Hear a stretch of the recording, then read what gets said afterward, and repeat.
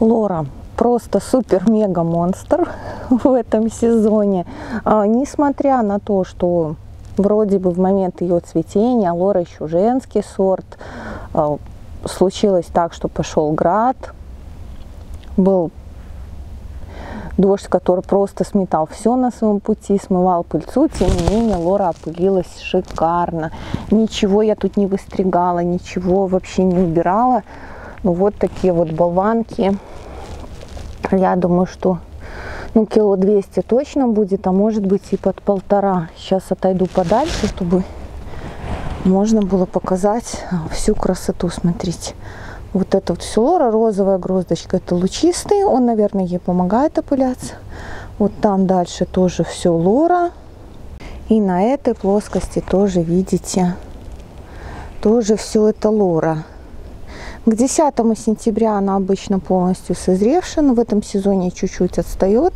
А, возможно, что из-за нагрузки, точно сказать сложно. Ягода, в принципе, уже вкусная. Особенно вот с этой солнечной стороны.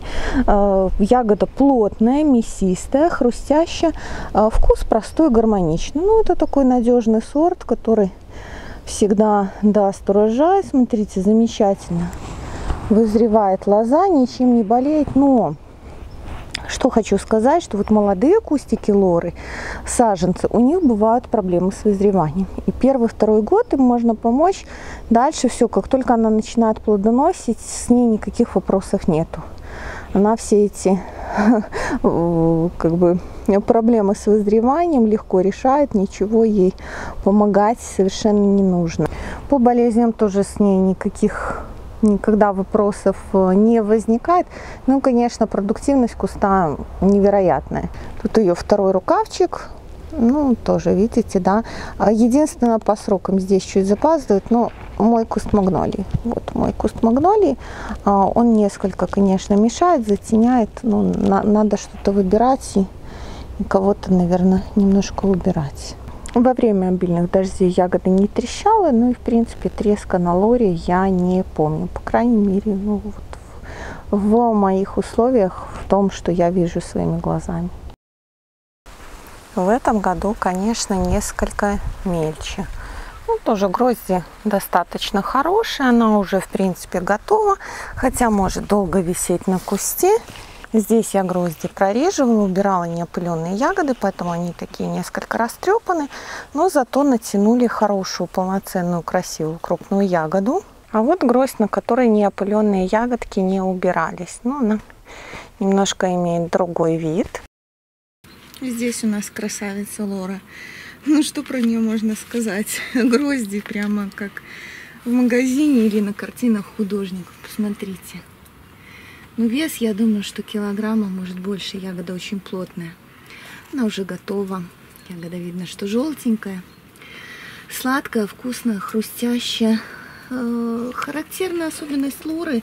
Лора может долго висеть на кустах и хорошо храниться. Ну, конечно, если вы хотите закладывать э, ягоду на хранение, то не надо ждать там октября-ноября, снимите ее чуть раньше, тогда она храниться будет лучше. Сорт женский, но при этом, особенно с возрастом, у нее это второе полноценное плодоношение. В принципе, куст э, довольно молодой, но тем не менее с каждым годом он становится все лучше и лучше и лучше. Ничего в этом году не вырезали, не убирали. Она прекрасно опылилась. А, кроме того, чем еще хороша лора? Она прекрасно выдерживает нагрузку. В этом году э, мы оставили 40 голосков. Но видите, по одной э, грозди на побег, ну, здесь килограмм будет, а может и больше. Покажем потом на весах. То есть, э, ну, понятно, что не, пусть не каждая гроздь такая будет чуть меньше, но 30-40 килограмм получить с куста для данного сорта более чем реально. При этом он и лоза уже вызрела, и не болеет особо. Шикарный стабильный сорт. Максимальная гроздь лоры в том 2019 году была кило 200. И общая урожайность с куста у нас была более 40 килограмм. Сорт очень урожайный, очень легкий в уходе и, конечно же, стабильный. Единственный его недостаток – это как раз-таки его урожайность. Ведь 40 килограмм с куста лоры это далеко не предел. А, более того, лора очень хорошо набирает сахар, и если она будет долго висеть на кусте, она может становиться очень сладкой и может быть даже приторной. И, например, для нас 40 килограмм вот такой очень сладкой ягоды, но это многовато. Хотя, конечно, для любителей сладкого это наиболее подходящий вариант.